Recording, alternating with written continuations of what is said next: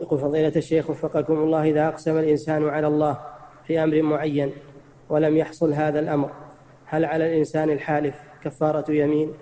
لا ليس عليه كفارة يمين نعم